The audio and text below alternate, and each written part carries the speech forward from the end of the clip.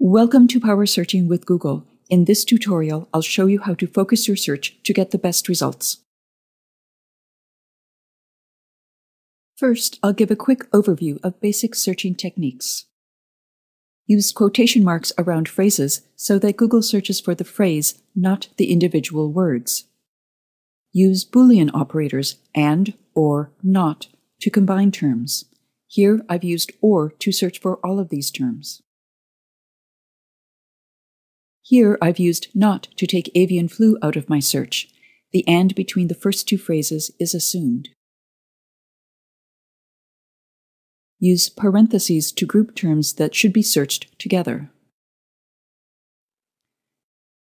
To do a more complicated search, you can use Google's advanced search page, where you can combine terms and look for specific sites or file types. But you can also use shortcuts and do a complicated search right from Google's main search box. An asterisk acts as a wildcard to look for variations of a word. A tilde will include synonyms in your search. A plus sign includes terms that Google would normally exclude. A minus sign excludes terms that Google would normally include. And dots allow you to search for a range of numbers. Let's look at the way these shortcuts can work. I've used an asterisk here to retrieve transplant, transplants, and transplantation. I've used a tilde before the word organ to retrieve synonyms of organ, such as heart, kidney, and liver, in addition to organ. I've used a plus sign to keep the word and in the search. A plus sign also helps in searching for foreign words that have diacritics and for misspellings. I've used a minus sign to take music out of the search. Here's a search that puts it all together. I'm looking for information on brain death in Japan, including information on the Japan Organ Transplant Network from 1990 to 2000. So I entered brain death in quotes, then Japan asterisk to include sites with related words such as Japanese. I put a plus sign before J O T N W to make sure that Google searches for that initialism and I used dots between 1990 and 2000 to search for information within that date range.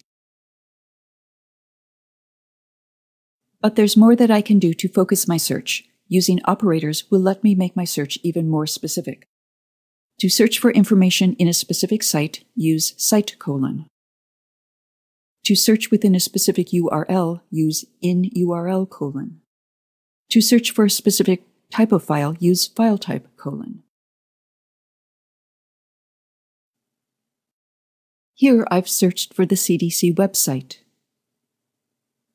To look for specific information within the site, I'll add tilde guidelines MRSA to find information on guidelines and related words and MRSA infections.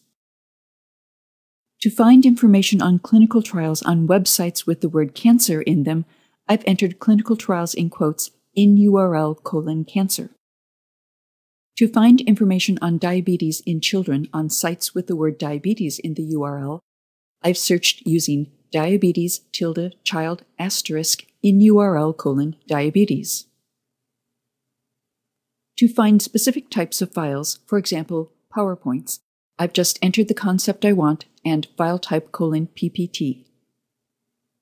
To search for information on HIPAA in Michigan on the Centers for Medicare and Medicaid Services website in the PDF format, I've entered HIPAA, Michigan, site colon cms.hhs.gov, file type colon PDF.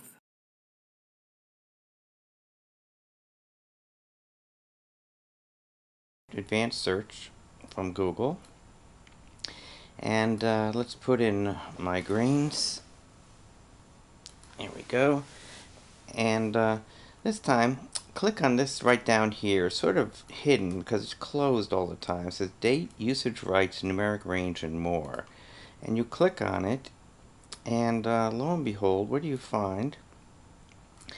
But a thing called usage rights, and even explains all these different usage rights things. If you click on it, it takes you to a page that talks about all of these different types of usage rights.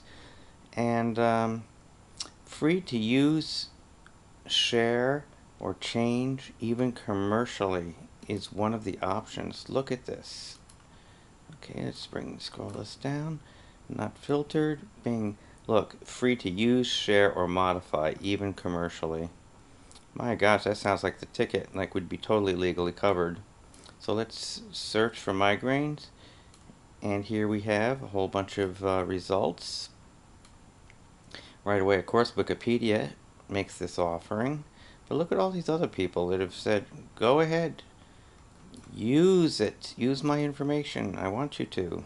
And, uh, and it's really quite a few. I mean, 5,000 results for this word. Good grief. And this as all set up to be free to use by anybody.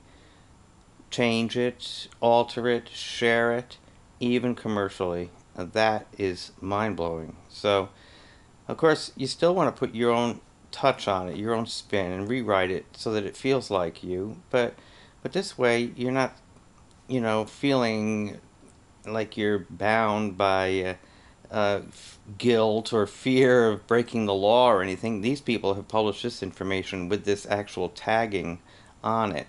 Now you might examine their page and see if they've got any information um, published on their page concerning the uh, you know the, the, freedom of use that they they mean it defines what they mean by uh, this. But heck this um, this seems pretty straightforward to me that if it says free to share, use, share, use, share, or modify, even commercially, that is, I mean, what else can you say?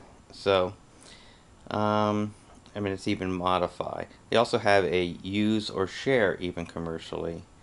And um, so, so obviously this means these are people that are intending to give you that kind of freedom to recycle their uh, their materials. Okay, so that's pretty wonderful stuff. I just thought everybody would like to see that Google has this little tool in there, and uh, this is also great for checking niches. By the way, I've tried this little trick with the see normally it's every anywhere in the page is the search but you can also look just in the titles of a page and find out who's actually using this, um, the keyword, or even more importantly, a keyword phrase.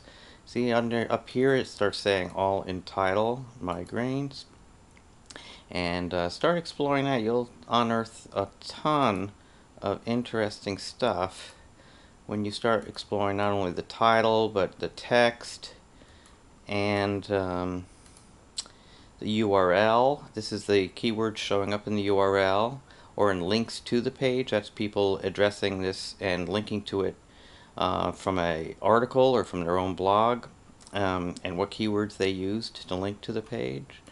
And uh, look at this. You also have um, where your keywords, I mean, uh, what region. So you can uh, pick any country and narrow it down to a country. And uh, that's pretty incredible, isn't it? Yes, it is. All right, enjoy. I'm glad I could share this with you.